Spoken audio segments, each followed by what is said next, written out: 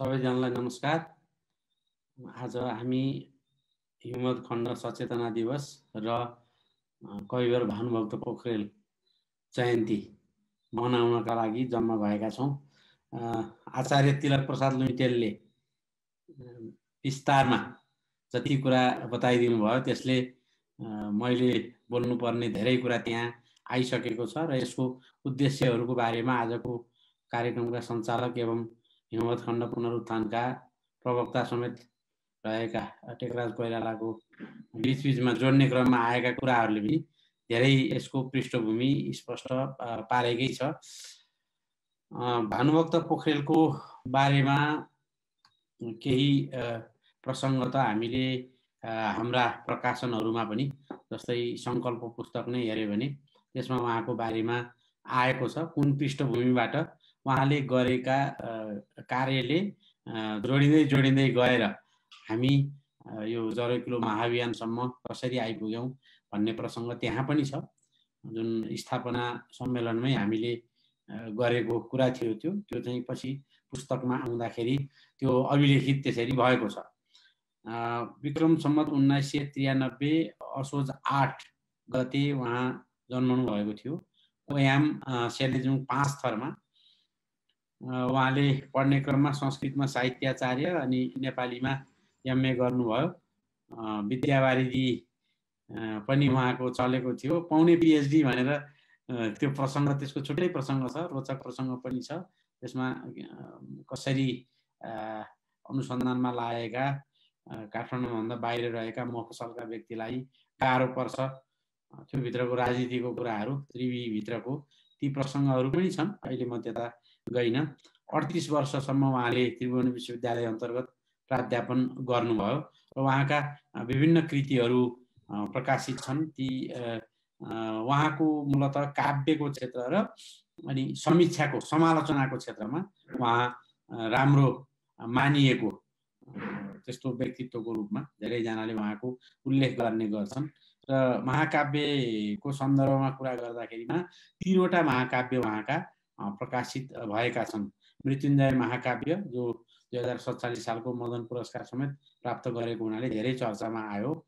त्यस्तै जागृति राग जुन दुई हजार छप्पन्न सालमा प्रकाशित भयो र जागृति राग प्रकाशित हुने बेलासम्ममा नेपाली भाषा संस्कृति परिषद बनिसकेको हुनाले नेपाली भाषा संस्कृति परिषद मार्फतबाट गर्न खोजेका कुराहरू त्यसमा पनि झल्केको छ भने हिमवत खण्ड महाकाव्यमा आउँदाखेरि अझ त्यो व्याप्त भएको त्यो भावना जुन चाहिँ महाएकताको कुरा सबैलाई जोड्न सक्ने कुरा ती कुराहरू चाहिँ आइसकेको देखिन्छ। भने उहाँले धेरै फुटकर लेखहरू त्यो बेलामा लेखेर खास गरी विक्रम सम्मत दुई हजार चौन्नमा नेपाली भाषा संस्कृति परिषद बनिसके पछाडि उहाँका फुटकर लेखहरू विभिन्न पत्र पत्रिकामा अखबारदेखि लिएर अन्य म्यागजिनहरू त्यस्तोमा पनि छापिएका धेरै लेखमा उहाँले चाहिँ आफ्ना चिन्तनहरू अगाडि सार्नु भएको थियो।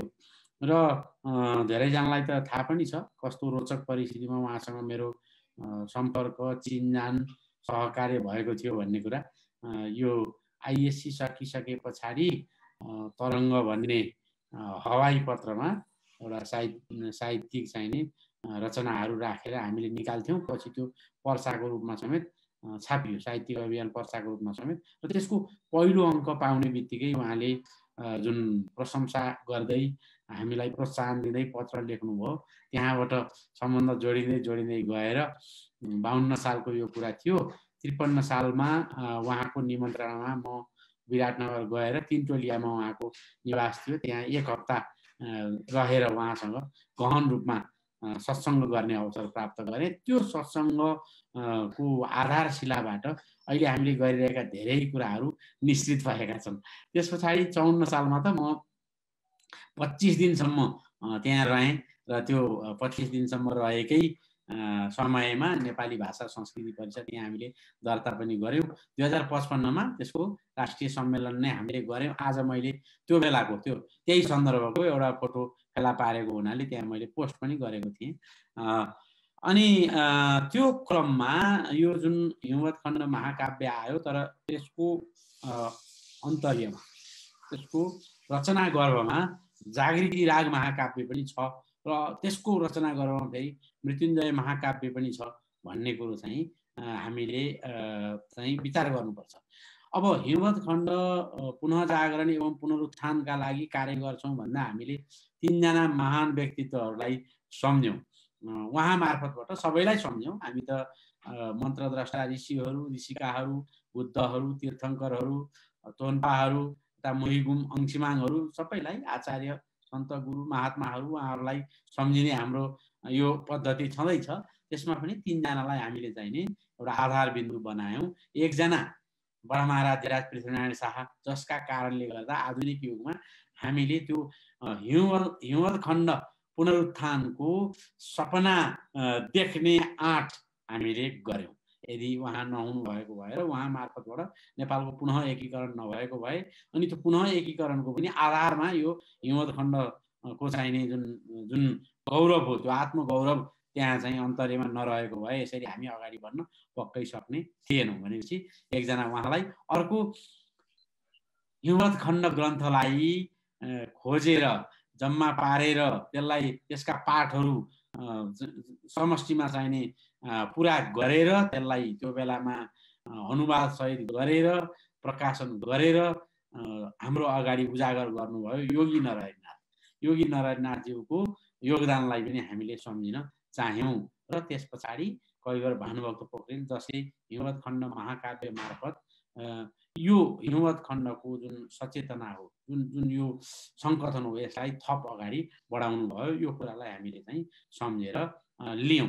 अब व्यक्तिगत रूपमा हेर्दाखेरिमा त धेरैजनालाई अब त यो थाहा पनि भएकै कुरा छ कि योगी नारायणनाथजी र मेरा पिताजीको जुन आत्मीय सम्बन्ध हो त्यो सम्बन्धको कारणले गर्दा निकै सानो उमेरदेखि योगी नारायणनाथज्यूलाई देख्ने उहाँका कुरा सुन्ने यस्तो उहाँको चाहिने स्नेह पाउने जुन जुन सौभाग्य मलाई प्राप्त भयो त्यो कारणले पनि त्यो त्यो एउटा चाहिने आत्मीयता उहाँप्रतिको सम्मान भाव त्यहाँ रह्यो भने भानुभक्त पोखरेल गुरु सँगको भेट उहाँसँगको सत्सङ्ग उहाँसँग रहेर गरेका चिन्तन मनन र त्यो अङ्ग्रेजीमा प्रोब्लेमेटाइजिङ भन्छ क्या त्यो त्यो कुनै त्यो कसरी अनुसन्धान कसरी गर्ने भन्नमा चाहिँ विभिन्न समस्या कथनहरू अथवा समस्याको एउटा चाहिँ नि परिधि जुन चाहिँ नि खुल्यो त्यो कारणले गर्दाखेरिमा पनि भानुभक्त गुरुप्रतिको सम्मान हामी यो जरकिलो परिवारमा स्वाभाविक रूपमा हुने गरेको छ र यही कारणले गर्दाखेरि उहाँहरूको विशिष्ट योगदानका कारणले गर्दा पृथ्वीनारायण शाह योगी नारायणनाथ र भानुभक्त पोखरेल उहाँहरू तिनजनालाई सम्झने। उहाँको मार्फत हिउँवत खण्डको सङ्गठनलाई अगाडि बढाउने हामीले चाहिँ निर्णय गरेका थियौँ। सोही अनुसार हामीले पृथ्वीनारायण शाह को सम्मानमा पृथ्वी जयन्तीको बेलामा राष्ट्रिय एकता दिवस मनाउने नमनाउने भनेर अरू अरू अल्मलिरहेको बेलामा हामीले हिउँद खण्डसँग जोडिएर विभिन्न कार्यक्रमहरू गऱ्यौँ। यस्तै गरेर योगी नरनाथ जयन्तीको दिनमा पनि हिम्मत खण्डसँग जोडेरै हामीले कार्यक्रमहरू गऱ्यौँ र आज कविवर भानुभक्त पोखरेलको जन्म जयन्तीसँग जोडेर पनि हामी यो कार्य गरेका छौँ।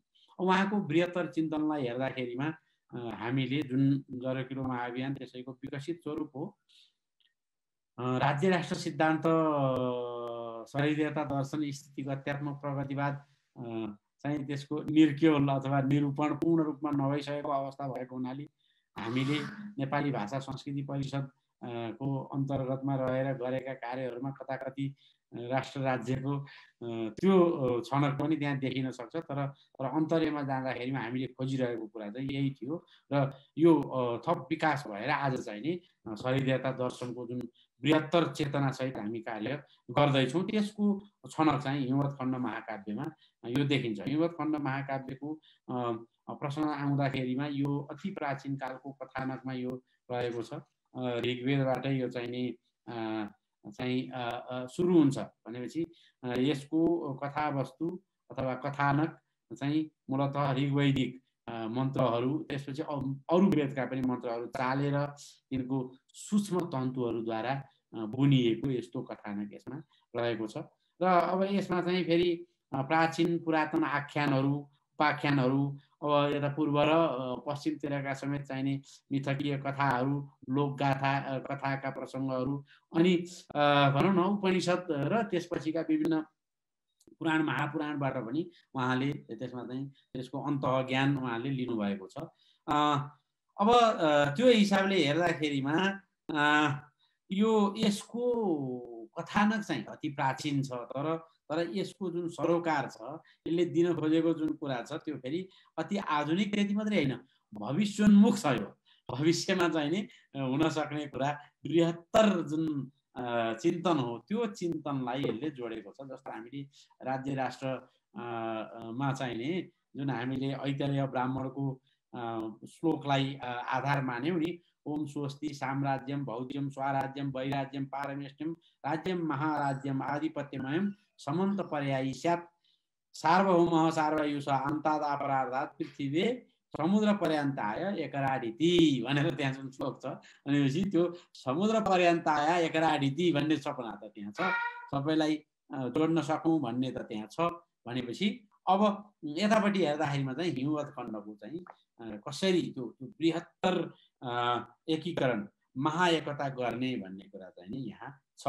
भनेपछि यो यसलाई उहाँले चाहिँ महाअधिराज्य अथवा चाहिँ ठुलो साम्राज्यका रूपमा परिकल्पना गर्नुभयो। अनि त्यहाँ कथामा चाहिँ के भने पाँच हजार वर्ष अगाडि चाहिँ चाहिँ असमाति नामका किराँत राजा त्यसको सम्राट भएको बेलामा पछि पछि चाहिँ टुक्रिँदै टुक्रिँदै टुक्रिँदै गएर यो यो महाकाव्यमा चाहिँ नौ सय टुक्रामा विभाजन हुन पुगेको त्यस्तो बेलाको चाहिँ कथा त्यहाँ छ।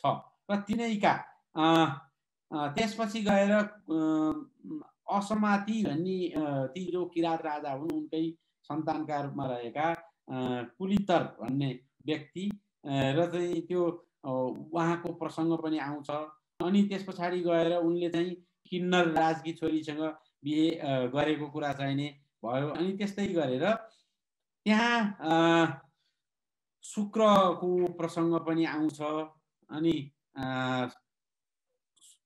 गुरु शुक्राचार्यसँगको चाहिने सम्बन्ध को प्रसङ्ग आउँछ अनि त्यस पछाडि गएर उनका सन्तान जब जन्मिन्छन् कुलितर र चाहिँ नि उनकी रानी को त्यो त्यो वंश परम्परामा चाहिँ सम्बर को चाहिँ जन्म हुन जान्छ र परम्परागत रूपमा चाहिँ नि असुर भन्ने चाहिँ उनीहरूको पदवी समेतले गर्दा सम्बरासुर भन्ने चाहिँ पदवी रहेको त्यहाँबाट आउँछ। अब त्यस पछाडि त्यो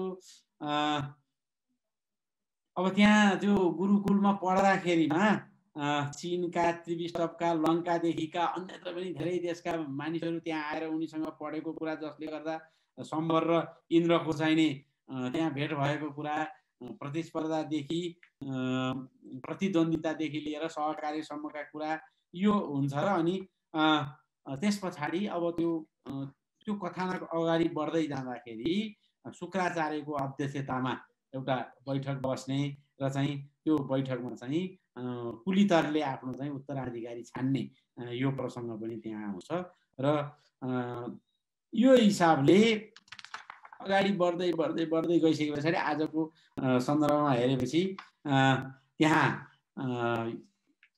त्यसले चाहिँ यो विभिन्न सन्दर्भ यहाँको जुन चाहिँ वैविध्य हो यहाँका जुन विभिन्न जातीय समुदाय हुन् भौगोलिक विविधता हो यहाँको संस्कृतिको विविधता हो अब त्यसमा कसरी द्वन्द्वका पनि प्रसङ्ग त्यहाँ छन् किनभने हरेक युगमा केही केही द्वन्द्व भइरहेकै हुन्छ वर्तमान युगमा पनि त्यो छ तर ती सबै चाहिँ लाई अन्तिममा जोडेर यो चाहिँ महाएकतासम्म कसरी पुर्याउने भन्ने कुरा अब पुरुकुच्छसँग चाहिने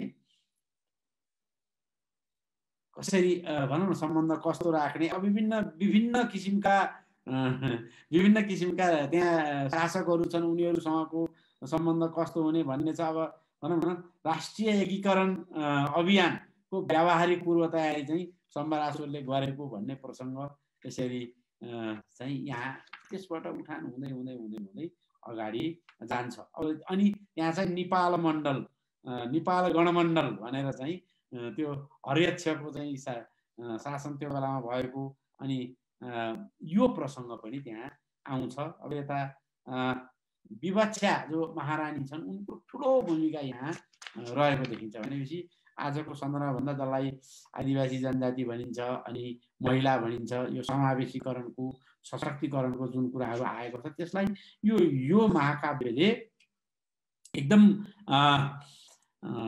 टपक्क टिपेको छ र वास्तवमा भन्ने हो भने चाहिँ नि रानीलाई चाहिँ आफ्नो कार्यकारी अधिकार दिएर सम्प्रभुता सम्पन्न साम्राज्ञी बनाएको प्रसङ्ग पनि यहाँ आउँछ भनेपछि यो यसको यो यो अन्तरले पनि हामीले हेऱ्यौँ भने कसरी सशक्तिकरण चाहिँ छ कसरी यो अगाडि चाहिँ अगाडि बढ्ने भन्ने कुरा यो चाहिँ राष्ट्रिय एकीकरण वा महामेलमिलाप सफल चाहिँ कसरी हुन्छ भन्ने चिन्तनबाट सफल कसरी भयो भन्नेसम्मको चाहिँ यहाँ प्रसङ्ग छ र महायुद्धको महापीडाजन्य महाकरुण दृश्यको यो प्रसङ्ग आएको छ र त्योबाट एक प्रकारले भन्दाखेरिमा जुन जुन पीडा हो जुन चोट हो त्यसपछि कसरी चाहिँ शान्तिका लागि ऐक्यका लागि सहिदेताका लागि भनौँ न एउटा वातावरण बन्यो भन्ने प्रसङ्ग पनि आउँछ। र यसले अन्तिममा यसले के भने हो भने यहाँ यहाँ मसँग अहिले मेरो साथमा महाकाव्य पनि छ। यसले चाहिँ कस्तो भने यस महाकाव्यका रचयिता जो कवि पनि यो महाकाव्यमा चाहिँ एउटा पात्रका रूपमा चाहिँ अगाडि आएर त्यसमा चाहिँ उहाँको हृदयमा महाअन्धकारलाई विस्फोटक गर्दै प्रकाश प्रकट भएकोले अन्धकार र जडताभन्दा प्रकाश र सत्यता प्रबल हुनुको साथै खम ब्रह्म वा अन्तरिक्ष सधैँ बढिरहने हुनाले हामीले पनि अल्प स्थानीयता क्षेत्रीयताबाट वृहत राष्ट्रियतामा फैलिँदै त्यसबाट वृहद अन्तर्राष्ट्रियतामा व्याप्ति लिँदै अन्तर्ग्रहीयता वर्ण गर्दै त्यसबाट पनि अति बृहत्तम विश्व ब्रह्माण्डको व्यापकतामा फैलिँदै फिलिँदै र फराकिँदै जानुपर्ने परासत्यलाई यो महासृष्टि नै अल्पाति अल्प परमाणवीय बीजको अनल्प बन्ने प्रयासको परिणाम भएबाट स्पष्ट तथा प्रमाणित हुन पुगेको छ।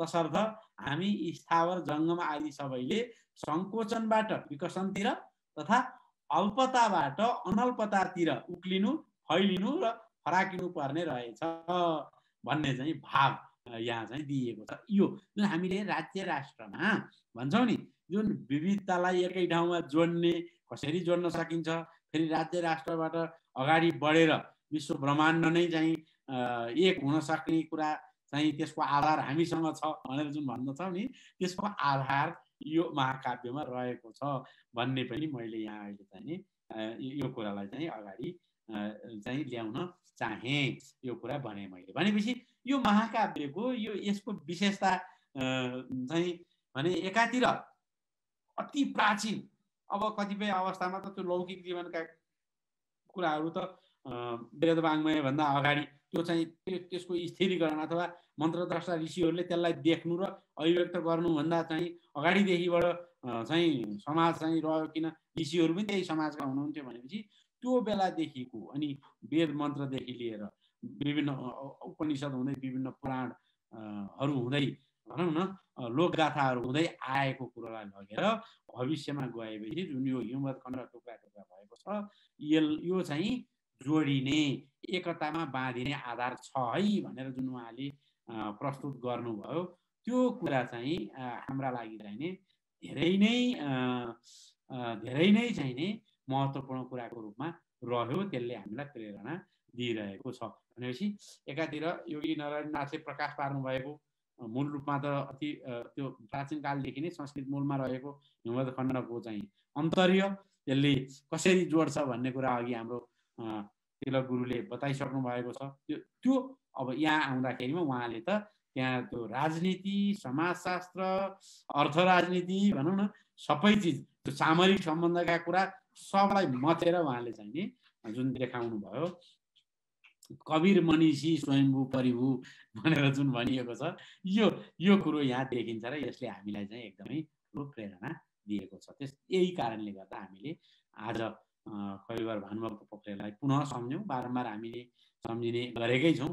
आज पुनः हामीले सम्झ्यौँ र यो सम्झिने भनेको फेरि के होइन भने हामीले कसैको पनि पृथ्वीनारायण शाहको कुरा गर्दा पनि अथवा चाहिने योगी नारायणनाथकै कुरा गर्दा भानुभक्त पोखरेलकै कुरा गर्दा व्यक्तिको पूजा गर्न खोजेका व्यक्तिको व्यक्तिलाई चाहिने अर्को भनौँ न महिमा मण्डन गरेर उहाँको सन्देशलाई चाहिँ त्यति वास्ता नगर्ने जुन चाहिँ प्रवृत्ति देखिन्छ नि त्यस्तो होइन। हामीले चाहिँ उहाँ मार्फतबाट खासमा चाहिँ त्यो के दर्शन हो के सिद्धान्त हो के चाहिने अन्तर्यमा रहेको खास कुरो बुझी कुरो के हो सुरु कुरो के हो त्यो चाहिँ हामीले लिन खोजेको हुनाले यो हिमत खण्ड सचेतनामा यसलाई हामीले जोड्यौँ। जुन यो महाकाव्यमा पनि सचेतनाको कुरो चाहिँ नि एकदमै धेरै आउँछ। हामीले गौरवको कुरा हामीले जोडिरहेका छौँ सचेतनाको कुरा जोडिरहेका छौँ। भने यो यो जागरणको कुरा हामीले जोडिरहेका छौँ। यसले हामीलाई धेरै त्यो आत्मदर्शनको लागि अवसर पनि प्रदान गरेको छ। तर सँगसँगै केही चुनौती पनि पक्कै छन्। अब के भइरहेछ भने हिमवत खण्डको भूभाग त विस्तीर्ण छ। त्यो सबै भूभाग हाम्रोमा मात्रै होइन। अन्यत्र पनि अहिले आधुनिक जुन जुन भू राजनीतिको हिसाबले हेर्दा अन्यत्र पनि पर्छन्। त्यो अन्यत्र पर्दाखेरिमा हाम्रो उत्तरतिर भएको छिमेकीले जुन त्यो कैलाश मानव सरोवरसँग त्यहाँ अहिले हाल बसोबास गरिरहने र जुन चिनभित्रका नागरिकहरूको भन्दा पनि त्यहाँभन्दा बाहिर पर्ने भूभागमा रहेका नागरिकहरूको बढी आकर्षण भएको जुन बाटो छ त्यसलाई अब पर्यटनको हिसाबले आम्दानी हुने हिसाबले त्योबाट फाइदा उठाउन चाहे तापनि सांस्कृतिक रूपले चाहिँ त्यसलाई एउटा चुनौतीको रूपमा लिएको चाहिँ हामी त्यो कतै न कतै त्यो कुरो झल्किरहेको हामीले देख्छौँ। तिब्बतको जुन अवस्थिति छ नेपालसँगको कुरा आउँदाखेरिमा पनि ल है तिब्बत मामिलामा हामी धेरै धेरै संवेदनशील छौँ। भन्ने यो बारम्बार गरिरहेकोबाट पनि हामी देख्छौँ नि। अनि चिनको दलाइ लामासँगको सम्बन्धको प्रसङ्ग त्यो पनि हामी देख्छौँ नै। यी यावत कुराहरूले गर्दाखेरिमा के छ त भने यो मानव सरोवर अथवा कैलाशबारे नेपालका अथवा भारतका अथवा अन्यत्रका मानिसहरूले एकदमै धेरै कुरा गर्दाखेरिमा अलिक कता कता त्यता चाहिने झस्को पर्ने अवस्था छ भने हाम्रो दक्षिणतिर भएको जुन छिमेकी त्यो छिमेकीले चाहिने अब त्यहाँ इन्डिया भन्ने जुन छ त्यसको आफ्नै किसिमको इतिहास छ भारत र भारतवर्षको आफ्नै छ त्यो दुइटालाई स्वामित्व लिएर हिमवत खण्ड भन्ने कुरालाई चाहिँ अलिक छायामा पारेको। आज हाम्रो डाक्टर गोविन्द शरण उपाध्यायले त्यहाँ लेख्नु भए पढ्ने अवसर पनि प्राप्त भएको थियो। कसरी चाहिँ यो हिमवत खण्डको प्रसङ्ग चाहिँ त्यता हाम्रो दक्षिणको छिमेकतिरबाट पुरानो ग्रन्थ छाप्दाखेरिमा पनि त्यो प्रसङ्गलाई अलिक छायामा पार्ने गरेको भन्ने प्रसङ्ग उहाँले उठाउनु भएको थियो। त्यो कुरो हेर्दाखेरिमा हिमवत खण्डको चर्चा परिचर्चा धेरै हुँदाखेरिमा त्यसलाई धेरै धेरै निको नमान्ने प्रवृत्ति यता दक्षिणतिर पनि छ। त्यसो भएको हुनाले हामीले जब हिमवत खण्डको एकदम धेरै कुरो ल्यायौँ अनि हिमवत खण्डको केन्द्र फेरि नेपाललाई बनाउने अनि विश्वकै अग्रणी र केन्द्र बनाउने भन्ने गर्दाखेरिमा अब नेपालको अहिलेको अवस्था त के हो भने कोही चिनका पछाडि दौडिरह कोही कोही भारतका पछाडि दौडिरह कोही युरोप अमेरिकाका पछाडि दौडिरह कोही त अब अहिले चाहिने उता मक्का मदिनातिर पनि चाहिँ दौडिन थालिसकेका अवस्थामा यी कस्ता आए जसले चाहिने नेपाललाई नै केन्द्र बनाउँछु भने भनेर अलिक अलिक झस्किएको त्यस्तो भन्ने पनि हामीले केही सङ्केतहरू पाएका छौँ। र अब हामीले अनौठो नमाने हुन्छ। आवरणमा देखिँदाखेरिमा चाहिँ घनघोर राष्ट्रवादी नै देखिने उस्तै परे कोही उत्तरतिरका हाम्रा छिमेकीलाई गाली गर्ने कोही दक्षिणतिरका छिमेकीलाई गाली गर्ने। हामी त गाली फेरि कसैलाई पनि गर्दैनौँ नि। सबैसँग नेपाल र अनि भारत नेपाल र चिन समग्रमा भन्दा नेपाल चिन भारत नेपाल भारत चिन यो सबै चाहिँ नि बृहत सभ्यताको चाहिँ नि एउटा चाहिँ साझेदार रहेर सभ्यतागत सभ्यतागत सम्बन्ध बनाउनुपर्छ भनेर त हामीले बारम्बार भन्दै आइरहेको हुनाले हामी चिनलाई पनि गाली गर्दैनौँ भारतलाई पनि गाली गर्दैनौँ सबै मिलेरै जानुपर्छ भन्छौँ। यहाँ फेरि के छ भने उग्र राष्ट्रवादी बन्न कसैले कसलाई कसैले कसलाई गर्ने उनीहरूका झन्डा समेत जलाइदिने त्यस्ता छन्। र अनि एकदमै उग्र राष्ट्रवादी भनेकाहरू नै अब परिचालित भएर जरेकुलो महाअभियान अथवा व्यक्तिगत रूपमा यहाँका चाहिँ अग्रणी व्यक्तिहरूलाई कसरी कसरी चाहिँ आक्रमण गर्न सकिन्छ अरू केही भएन भने पनि अब नेपालमा त धेरै चल्छ यो षड्यन्त्रको सिद्धान्त। एक थो एक थो कुनै कुराहरू भनिदिने त्यसलाई अगाडि ल्याइदिने त्यस्तोमा पनि परिचालित परिचालित भइसकेका पनि हामीले देखेका छौँ। केही समय अगाडिबाटै अझ थप्यो बढ्नेछ तर हामीले चाहिँ मूल रूपमा हिमवत खण्डको जुन गौरवको कुरा हो हिमवत खण्डको जुन सचेतनाको कुरा हो हिमवत खण्ड मार्फतबाट जुन हामीले पुनः जागरण एवं पुनरुत्थान गर्नुपर्ने छ त्यो कुरामा अझ अझ बलियो रूपमा अझ शक्तिशाली भएर अझ अझ प्रखर रूपमा हामी लाग्नुपर्ने छ र जुनले बुझ्नेछन् त्यहाँ त हिमवत खण्ड अन्तर्गत त अरू पनि देशहरू पर्छन्। नेपाल भारत चिन मात्रै होइन कि कयौँ त्यहाँ पाकिस्तान त्यहाँ अफगानिस्तान त्यसपछि गएर यता चाहिने म्यानमा भनौँ न यता बङ्गलादेशका पनि कतिपय भूभाग लगायत यसै विभिन्न देशहरू यसमा चाहिँ पर्ने भएको हुनाले ठुलो सहकार्य हामीले गर्नुपर्ने छ। उनीहरूले बुझ्दै जाँदाखेरिमा यो त सबैको हितको कुरा हो है। भन्ने बुझ्दै जाँदा त सहजै हुँदै जाला तर सुरुवातमा कार्य गर्दाखेरि यो निकै चुनौतीपूर्ण पक्कै छ। तर जति चुनौती भए पनि हामीले यसको शङ्खघोष गरिसकेका छौँ र यो शङ्खघोष गर्ने अवस्थासम्म ल्याउनमा हामीलाई प्रेरणा दिनुहुने हाम्रा हाम्रा चाहिँ ऋषि ऋषिकाहरू बुद्धहरू तीर्थङ्करहरू तोन्पा मुइगुङ अम्सिङमामहरू त्यस्तै गरेर चाहिँ हाम्रा आचार्य सन्त महात्माहरू र हाम्रा चाहिँ नि भनौँ न पृथ्वीनारायण शाह योगी नारायणनाथ भानुभक्त पोखरेल लगायत जति पनि हाम्रा चाहिँ अग्रणी महानुभावहरू हुनुहुन्छ उहाँहरूलाई श्रद्धा सुमन म चाहिँ टक्राउँछु र किलो महाअभियानमा प्रत्यक्ष लागेर नलागेर जसरी पनि हुन्छ यो जुन चाहिँ पुनः जागरणको चेतनालाई फैलाउनमा योगदान गरिरहनु भएको छ उहाँहरूलाई पनि म साधुवाद टक्राउँछु म त जसले विरोध गरिरहनु भएको छ उहाँहरूप्रति पनि एकदमै साधुवाद टक्राउँछु कमसेकम उहाँहरूले यसलाई सङ्कथनमा त ल्याइरहनु भएको छ। यो यसले चाहिँ जीवन्त बनाउँछ जीवित बनाउँछ। र यो त दिनहरू मनाउने त दिनहरूलाई त एउटा हामीले बाहना बनाएको एउटा साधन बनाएको कुरा हो। यो मार्फतबाट सधैँ नै हामीले यसको चिन्तन गर्ने हो सकेको कार्य गर्ने हो अनुसन्धान गर्न सक्दा अनुसन्धान गर्ने हो प्रकाशन गर्न सक्दा प्रकाशन गर्ने हो प्रसारण गर्न सक्दा प्रसारण गर्ने हो सत्सङ्ग विभिन्न स्वरूपमा अगाडि बढाउँदै जाने हो। आज हामीले यो पनि त्यही चाहिँ सन्दर्भमा प्रसङ्गमा यसरी आयोजना गऱ्यौँ हामीले।